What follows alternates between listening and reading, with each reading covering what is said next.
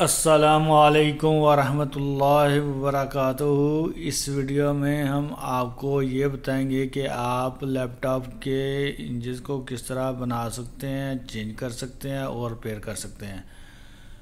तो उसको आपको ये रिपेयर करने के लिए, बनाने के लिए और चेंज करने के लिए आपको हमारा वीडियो मुकम्मल दिखना पड़ेगा। उसके बाद आपको पता चलेगा कि आप किस तरह से इसके हिंजेस को बना सकते हैं। ये जो लैपटॉप है, इसके बॉडी टूटी हुई है।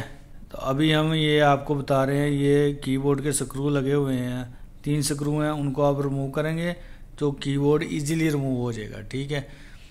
और उसके बाद कीबोर्ड रिमूव करने के बाद, ऊपर कीबोर्ड के नीचे स्क्रू लगे हुए हैं, उनको रिमूव करेंगे तो फिर आपका जो बॉडी रिमूव होगा। बॉडी रिमूव होने के बाद फिर आप जो एलसीडी वाला हिस्सा है, उसको लैदा कर लेंगे और मदरबोर्ड वाले हिस्से को लैदा कर लेंगे। मदरबोर्ड वाले हिस्से को लैदा करने के बाद फिर आप हिंजस को चेक करेंगे। हिंजेस टूटे हुए हैं तो चेंज करना पड़ेंगे। अगर वही पैर के काबिल हैं, यानी कि बनने के काबिल हैं तो उनको हम बना देंगे।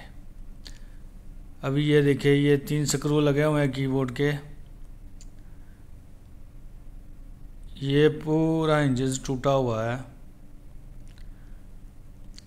ये चेक करना पड़ेगा, आया कि मिलने के काबिल है या नहीं।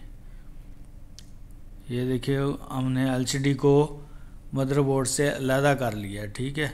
उसके बाद हम इसको लूज़ करने की कोशिश करेंगे, ये लूज़ हो रहे हैं या नहीं। और ये देखे जो बॉडी टूटी हुई थी, उसको हमने फिक्स करने की कोशिश की है इन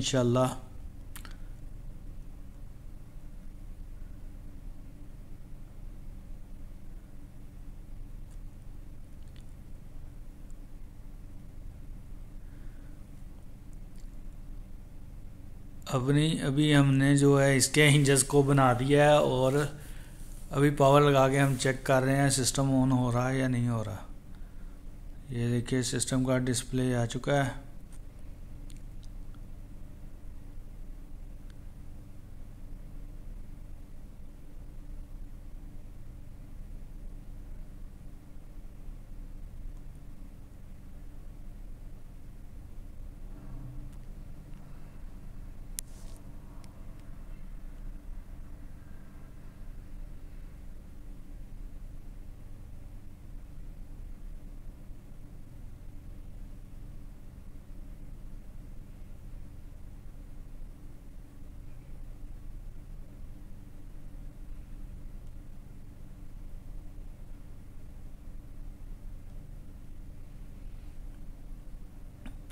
अभी हमने जो इसका इंजन को रिपेयर करने के बाद मदरबोर्ड के साथ इसको फिक्स कर दिया है।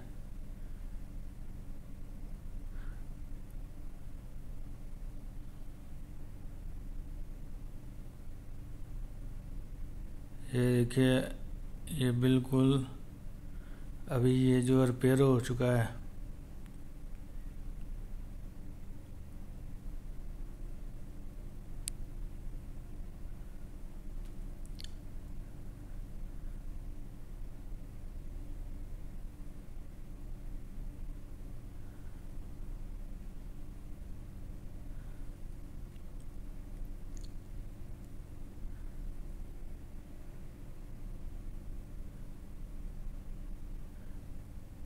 अभी ये देखिए इसका डिस्प्ले आ चुका है। आप हमारे चैनल को ज़्यादा से ज़्यादा लाइक करें शेयर करें और सब्सक्राइब करें। इन हम नेक्स्ट वीडियो में आपके साथ मिलेंगे। ओके अल्लाह हाफिज़। असलकम वरहमल वर्का